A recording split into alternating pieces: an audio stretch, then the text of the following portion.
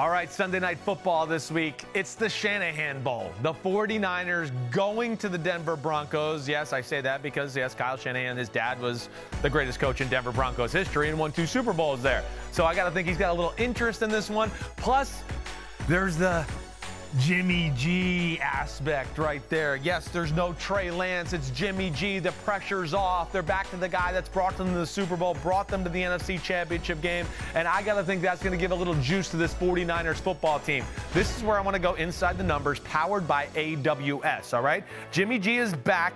And the thing that you know with Jimmy G, they operate a different way. We know Shanahan's really creative with the run game, and then Jimmy G likes to live over the middle of the field in the passing game, and Shanahan gives him a lot of options in that area. So here you go, percentage percentage of passes between the numbers since 2017. Jimmy G leads the NFL. 58% of his passes are between the numbers. You see Big Ben at 51, Rivers 51, Cam Newton, Lamar Jackson, all that, and Jimmy G 74% completion percentage and 103 quarterback rating when he throws the ball down the middle.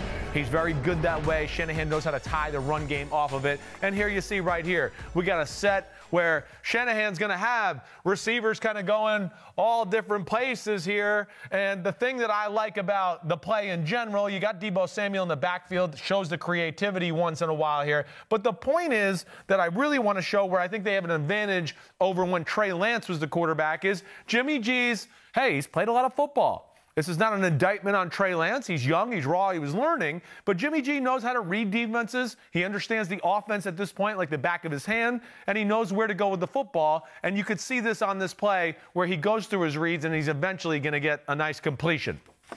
All right, so let's look at the next shot here. All right, you see Jimmy G. Look at him here. Good pass protection, right? All right, and you can't see quite yet here, but we're going to have Brandon Aiyuk coming into the screen on this side of the ball. And you can see Jimmy at first kind of got the ball cocked like he might throw the football. He doesn't like it. He sees the underneath coverage here. He knows it's a little dicey. And then as the play goes on, he's going to look at Jennings going this way across the field for his second read. But as you can see here from this as well, they got kind of, kind of have him doubled. All right, Seattle's done a nice job there. But this is to me where he gives them an advantage over Trey Lance right now. Because Jimmy goes one to two, and then he knows, wait, I got this guy who is a just phenomenal football player as my number three read. His name is Deebo Samuel, and so he looks downfield, he stresses the defense out that way, goes through the read, finds Deebo Samuel underneath with a nice pass, even though I know it's not down the field or sexy or anything like that, but effective, and that allows Deebo Samuel to make, a, a, make some yards after the catch.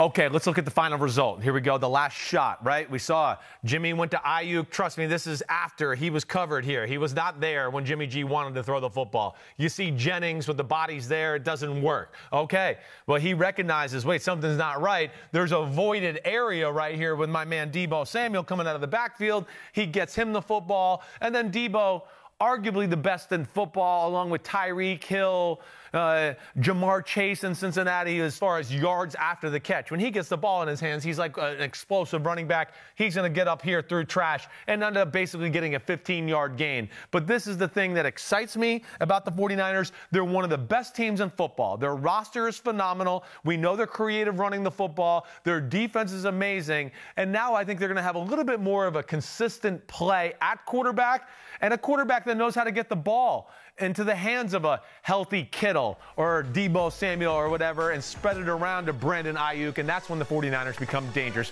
Watch it Sunday night football, right? 49ers at Broncos should be a good one.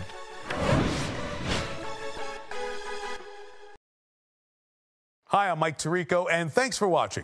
Make sure to hit subscribe for the latest news and highlights from NBC Sports.